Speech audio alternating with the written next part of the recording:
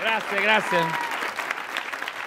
Grazie mille, buonasera, eh, benvenuti in questo bel capannone qui. eh, eh. Io devo dire che vengo a Zelig sempre con grande piacere e emozione perché io ho cominciato a fare il mestiere del gabarettista proprio a Zelig eh, per caso, perché in realtà io sono uno che non, non- non aveva- nella sua vita non, avevo mai pensato di dire un giorno eh, andrai sul palco a dire eh, no, io ho sempre fatto tutta un'altra cosa e devo dire grazie a quelli che hanno, eh, hanno capito che io, io sono uno di quelli come ce ne sono molti poi in Romagna tecnicamente sono gli sparacazzi quelli no, stanno nel bar capito? Vi- vivono nel bar stanno tutto il giorno sul bancone dell'Algida a, le- a leggere il giornale capito così che ogni tanto si, si staccano qui il, e, e ogni tanto spara delle cazzate porca miseria, non si capisce che fa la rassegna stampa no? li ammasserei tutti dammi un Montenegro va là che ecco io appartengo a questa categoria la categoria di quelli che eh, co- così insomma devo dire per me il salto da dire delle patacate con gli amici a, a, Zelig è, stato anche sono due scali però io eh, eh, io poi fra l'altro dico patacca, patacate, ma voi lo sapete cosa vuol dire? Avete visto la pubblicità di Valentino? Sì, capite? Seguite. Eh, pata- ah, allora, spiego. Ah, qui a, a Milano patacca, un sinonimo potrebbe essere eh, pirla, no? Eh, pirla, mona. eh, eh, no, a parte che patacca può essere sia femminile che maschile, perché allora, la patacca è la. la mm, come si. ehm, il buco della contentezza. Noi abbiamo questa, questo sinonimo, hai capito che è.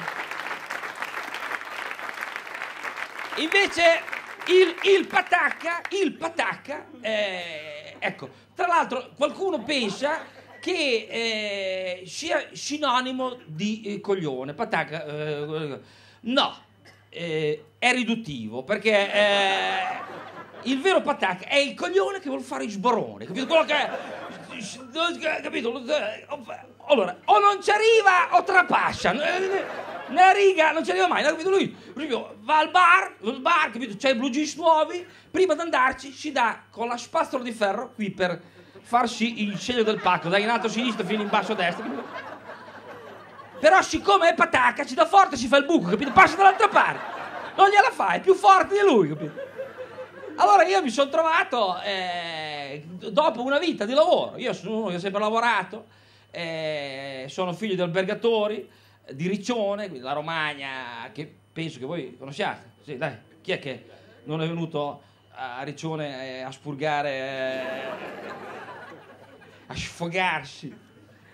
E poi dopo da grande ho studiato, ho fatto anche io albergatore, ristoratore e mi sono trovato ad un certo punto a fare questa eh, cosa di dire ah il comico capito? poi la gente ah, è stato famoso allora a parte che non ci credeva nessuno io primi- le prime volte che venivo a Zelig c'era de- della gente clienti fornitori eh, io insomma giacca cravatta normale capito? Dice, dottor Cevoli abbiamo visto in televisione una persona che le somiglia da matti che eh, neanche la signora che veniva a stirare le camicie, noi avevamo la signora che veniva a stirare le camicie, no? Io a casa, eh, capito? Allora, una sera mia moglie ci fa, eh, gu- guardi stasera che c'è Paolo in televisione. Eh, ma dove va? Porta a porta? Eh, no, era il 2002, Zeli ancora non era famoso, no? Andavi in onda alle 11, va in onda alle 11. Eh, dice, ma non lo potevano fare un po' prima che io la mattina, eh, insomma, lo, lo guarda, allora la mattina dopo arriva a casa. E mia moglie ci fa allora hai visto Paolo ieri sera? Hai visto? ma sì dai trasmissione bella. Gli altri sono bravi dai eh,